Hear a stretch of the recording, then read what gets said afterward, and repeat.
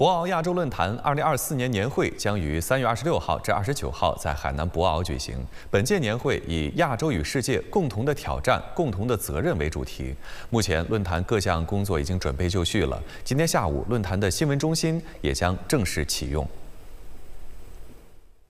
博鳌亚洲论坛二零二四年年会即将在明天正式开启。本届年会吸引了三千多名中外嘉宾出席，其中包括一大批外国现政要、前政要和国际组织负责人等。本届年会以“亚洲与世界共同的挑战、共同的责任”为主题，设置世界经济、科技创新、社会发展、国际合作四大板块，涵盖四十多场分论坛活动。年会的主会场国际会议中心，以及举行各场分论坛。圆桌会、对话会的这些分会场也都准备好了，各项准备工作都已经就绪了。